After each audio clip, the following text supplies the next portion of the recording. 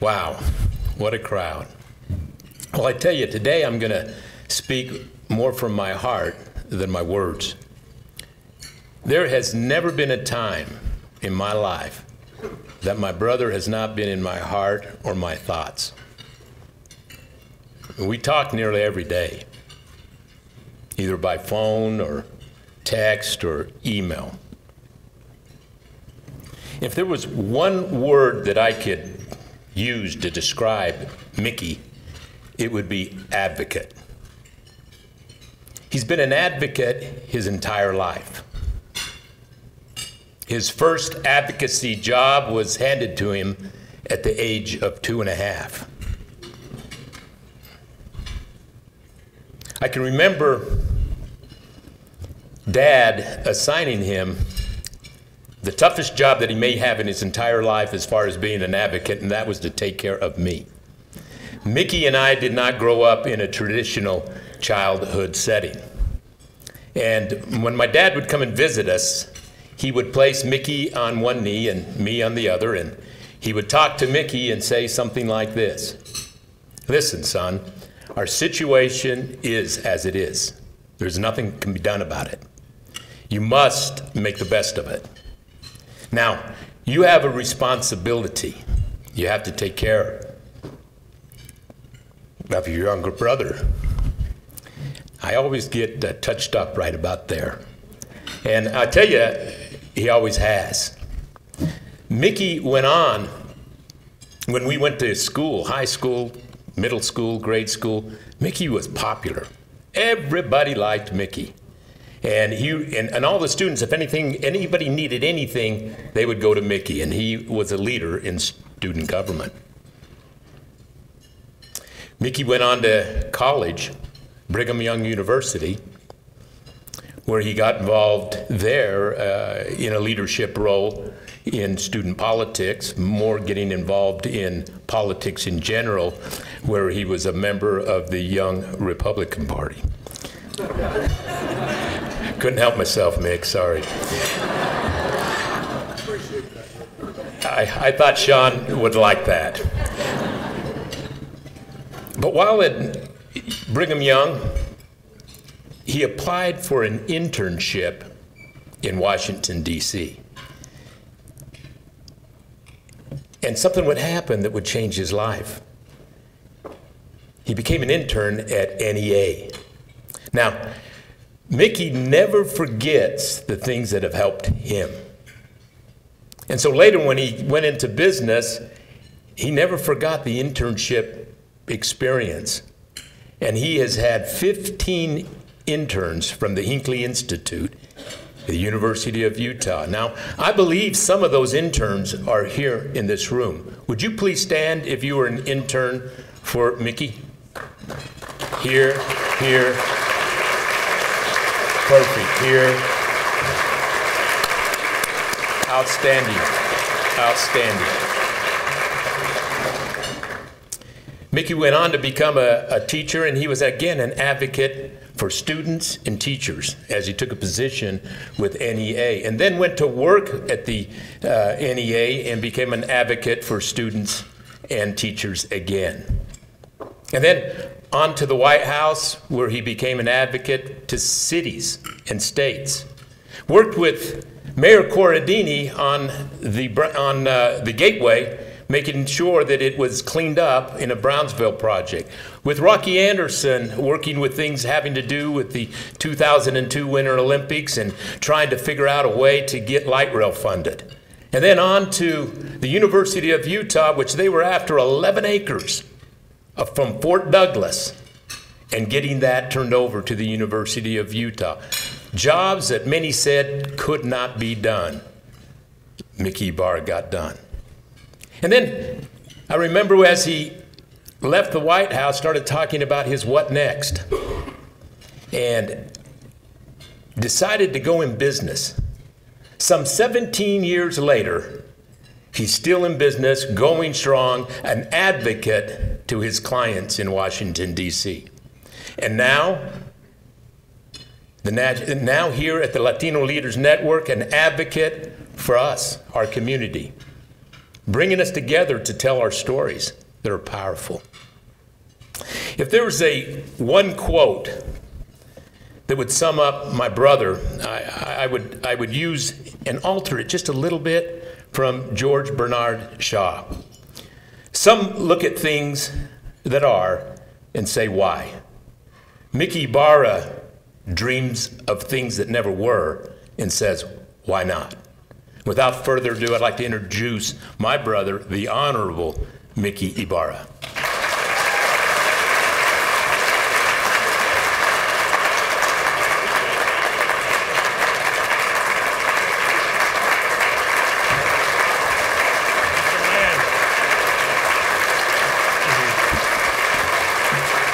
Wow, thank you.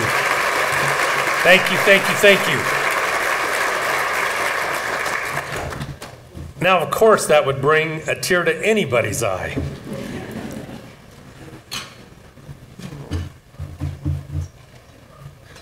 Who says you can't come home again?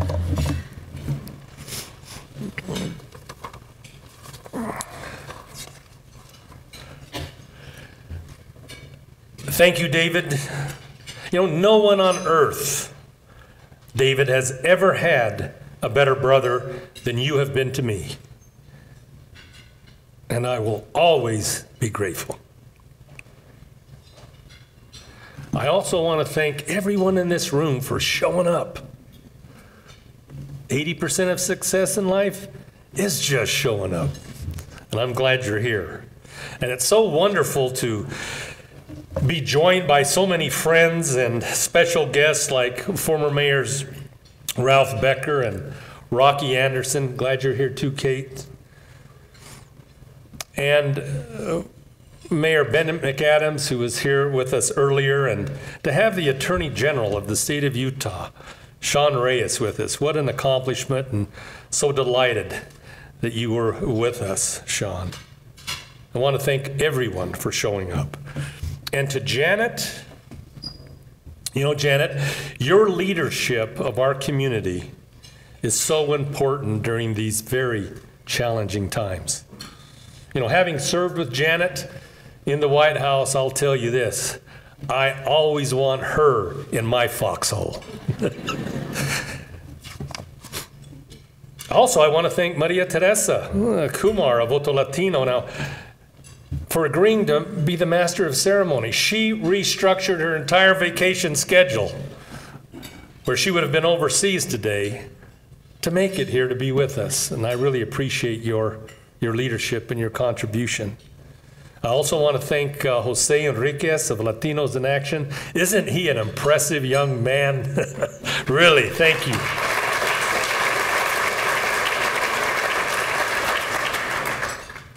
Now, I've prepared remarks.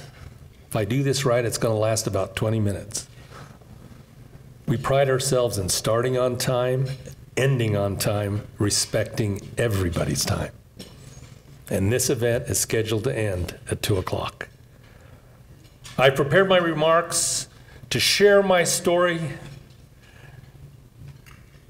to give an overview of the Latino Leaders Network, and to introduce our new book. Thanks to Zions, who's made it possible for each of you to have a copy of the book. But first, my story. You know, I was an assistant to the President of the United States and director of the White House Office of Intergovernmental Affairs before I ever mustered enough courage to share my story.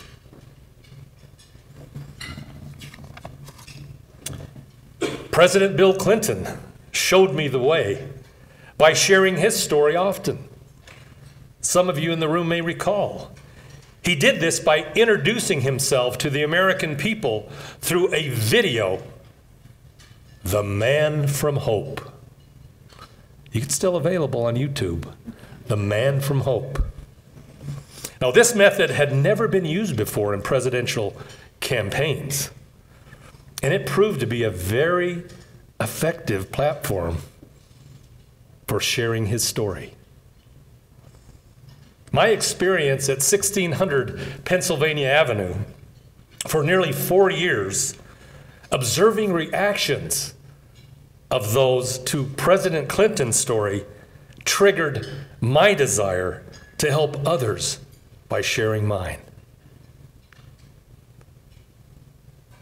Our stories are powerful and they need to be told. When we do, it gives others confidence, motivation, inspiration, and hope that they too can succeed. You know, only in America could a Mexican kid from Salt Lake City, Utah, who grew up in Utah foster care, end up being a witness to history, working alongside the President of the United States.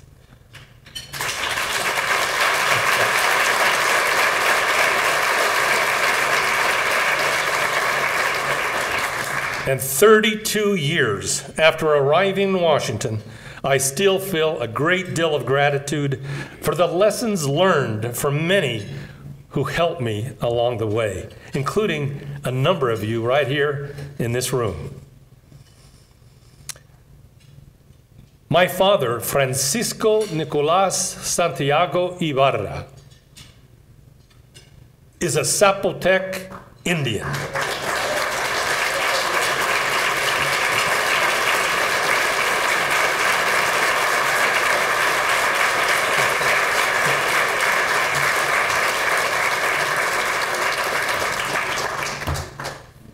This is his favorite part of the program. A Zapotec Indian who came to this country as a bracero from Oaxaca, Mexico in 1945. His first job was picking fruit in Spanish Fork, Utah. He eventually left the fields and landed a job at Kennecott Copper Mine, a member of the demolition crew. It was a union job, better pay, benefits, and job security. And I'm so delighted that we've been joined by Frank Joklik also, a former CEO of Kennecott Copper Mine. Frank, thank you for being here.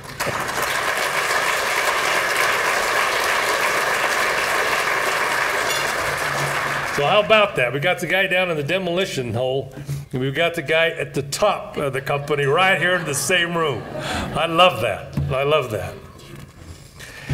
Now, Dad met and married my mother, who was much younger, white, and Mormon. In the early 1950s in Salt Lake City, that was not a socially acceptable thing to do. By the time I was two years old, the predictable happened. My parents divorced. And soon after, my mother, who was 18 years old, relinquished custody of my younger brother David and me to the Children's Service Society of Utah. We were placed together in foster care. Now, the Children's Service Society of Utah has two folks in this room. Where are they? I met the executive director early, and Becky, stand up, would you?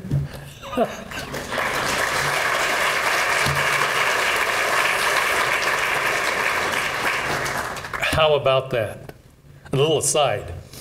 Only recently, about, uh, I guess it's been maybe a, a year now, one of my University of Utah interns, and with the help of Mayor McAdams, I think Emma Houston's in the, in the room also, one of his able staff, found the records of Mickey and David Ibarra in foster care.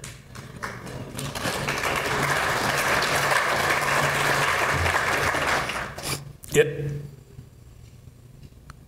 confirmed a lot of what we thought we knew it filled in some of the blanks, and there were a couple of surprises. But I'm grateful to the Children's Service Society of Utah and all that they have done and continue to do to help children that need our help. Now, for most of the first 15 years of my life, we were without a traditional family, as David mentioned. As kids, we both wondered about who we were and why we were alone. And we coped with our experience very differently. It's fascinating how we can be from the same parents and be so different. Of course, it's impossible for me to share my story without sharing much about David. Our stories are inextricably linked. I was the peacemaker and negotiator with a lot to say and always feeling a responsibility to help David make it. Now, despite my best efforts, David withdrew. He was extremely shy, afraid, and so angry. He would not talk. Can you imagine David Ibarra? would not talk. I literally spoke with him spoke for him, rather. His teachers at elementary school, grades, you know, one through three, would come and get me out of class when he was acting up to settle him down. He'd often go to the restroom, hide in those stalls, and wouldn't come out until I came and got him out.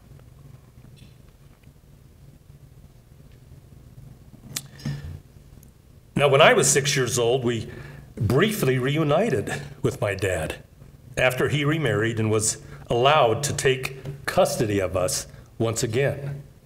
However, his marriage failed and we were right back in foster care. Although very fortunate because of Isla and Cecil Smith of Provo, Utah, a white Mormon family who cared for us for more than seven years outside of the Utah foster care system. This was a favor and a request made by my dad. Now, even as a boy, I talked too much, but otherwise was doing fine in school. I got along with everybody, yet my brother continued to struggle. This was when I first recall experiencing the impact of skin color. David, who was a shade darker than me, was confronted with discrimination and racism frequently. David was resentful about our life in foster care. Often people would ask David the simple yet hurtful question well, if your name is Ibera, that's what, it, that's what they called us, Ibera, why are you living with the Smiths?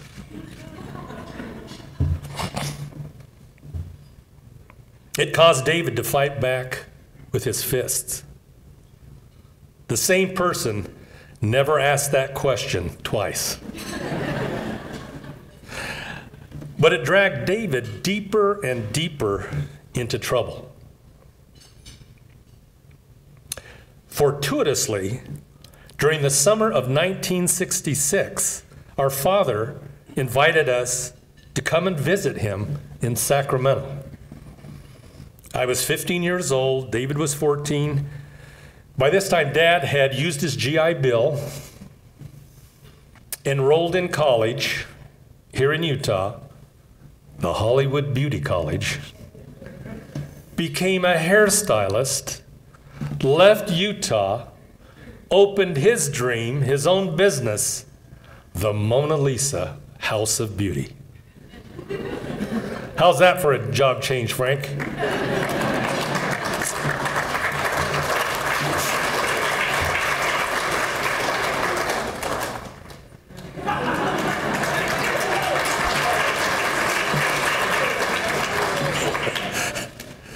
Now, during that vacation in Sacramento with our dad, David pleaded with dad constantly to let us come live with him. Dad was single, hairstylist, his own business. He had it going on. Believe me, the last thing he was looking for was to have a 15 and 14 year old show up.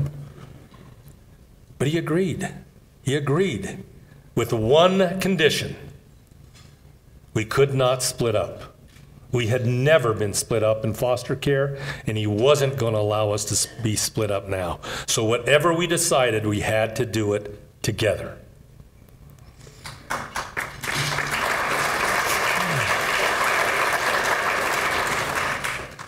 I wasn't so sure about leaving Utah. I had just completed my freshman year at an elite private four year high school, thanks to the intervention of my foster mother. Sports were of supreme importance to me. I mean, I had made the varsity baseball team and the junior varsity football team as a ninth grader. But in the end, I knew David wasn't going to make it in Utah. And so we decided to, to reunite with Dad in Sacramento.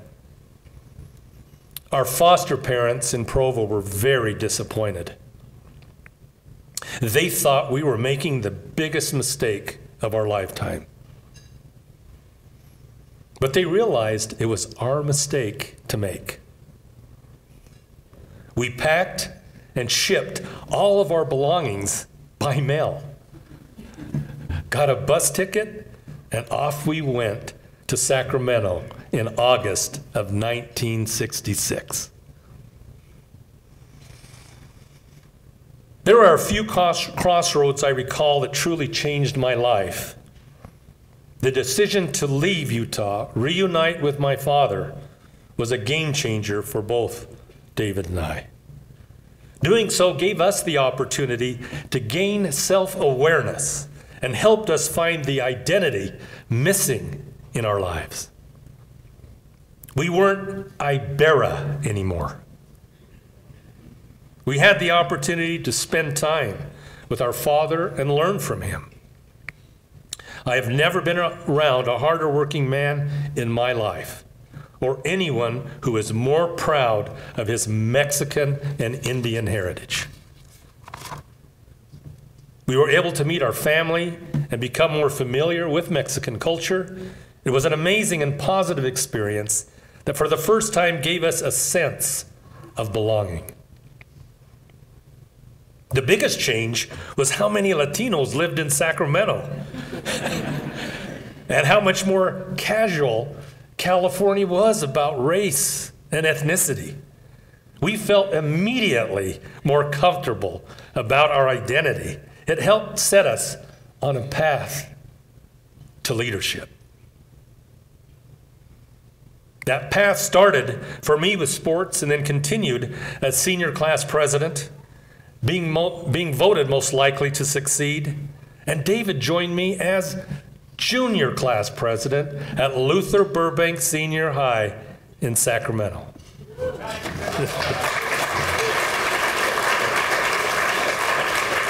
and we've been joined by another wonderful friend of ours, Fernando Arroyo, who was also a mighty titan.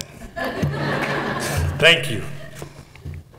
Now, since my early years in Utah and California, I've experienced many professional leadership opportunities. As David mentioned, a teacher, a union organizer, a White House official, a small business owner, and now chair of the Latino Leaders Network. And the common thread for me is I am an advocate by profession.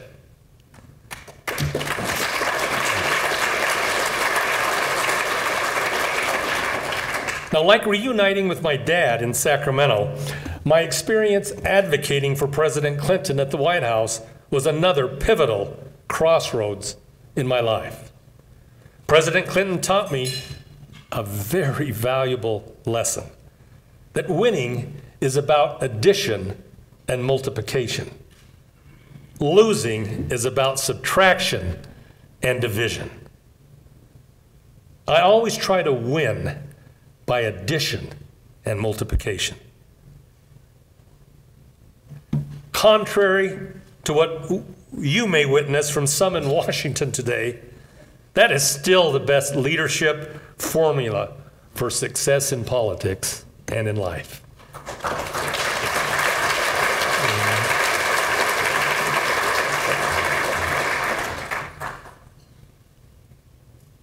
Let me transition to the Latino Leaders Network.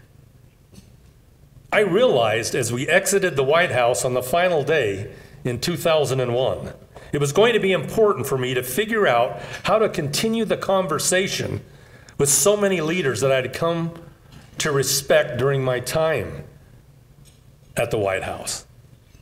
Nearly four years with the West Wing office made it possible for me to meet with literally hundreds of elected officials, Latino leaders, terrific leaders from coast to coast. The White House offered a unique platform that most showed up for when invited.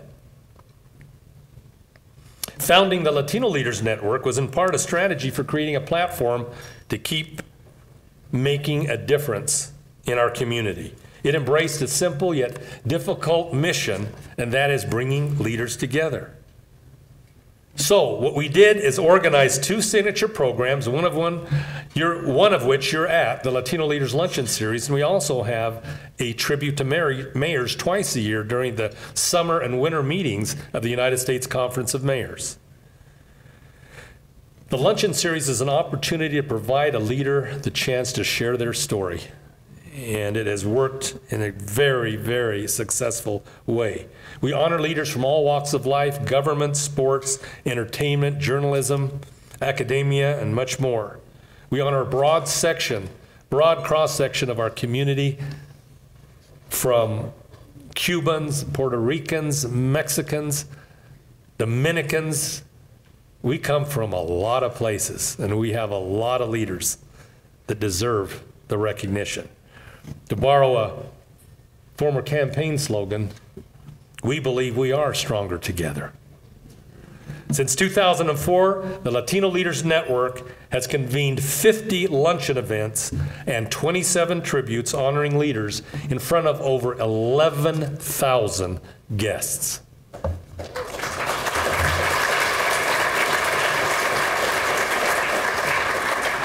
Now to our book.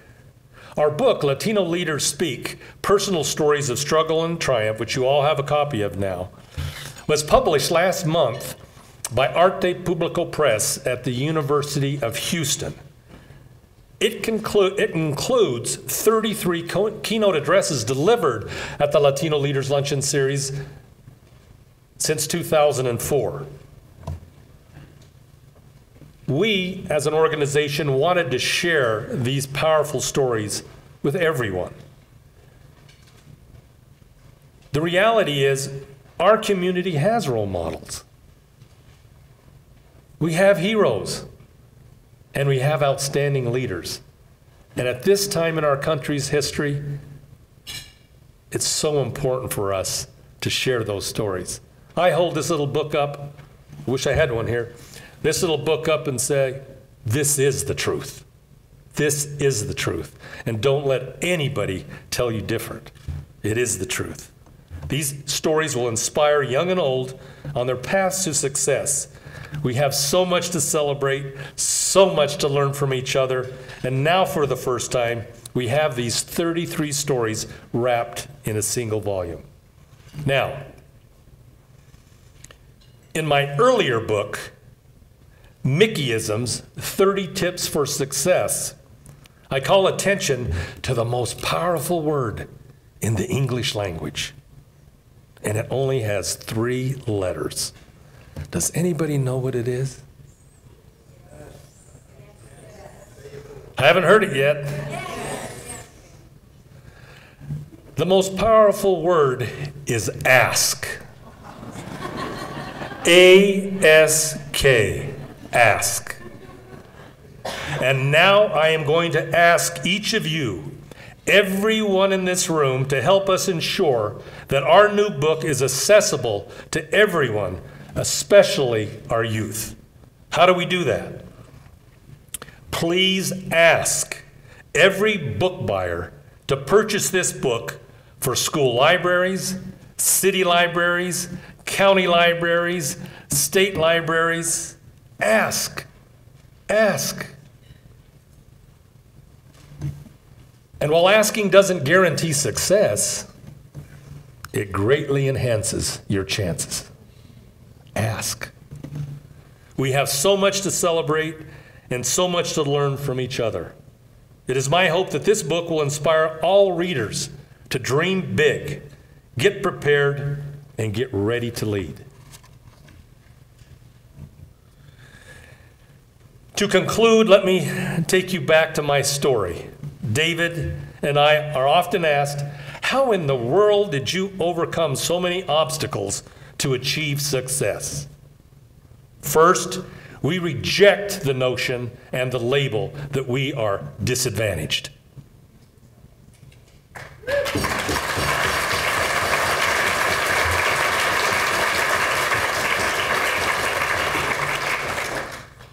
You know, in an unconventional way, our early experiences in life may have been the makings of our future success in overcoming the challenges we both confronted.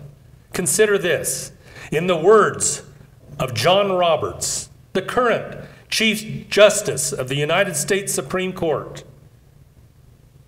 who re- recently offered in remarks to his son's ninth grade graduation ceremony. Being treated unfairly can give you a commitment to justice. Suffering betrayal teaches you a lot about loyalty. Being lonely helps you value friendship all the more. Having bad luck from time to time will make you conscious of the role chance plays in life. And you'll understand that your success is not completely deserved. And that the failure of others is not completely deserved either. And finally, pain. Pain can cause you to learn compassion.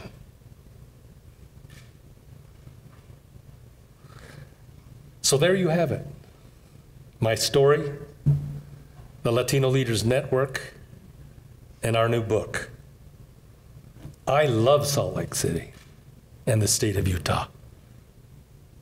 And please remember this, everyone in the room. If it happened to me, it can happen to you. Always, always remember to dream big. Thank you.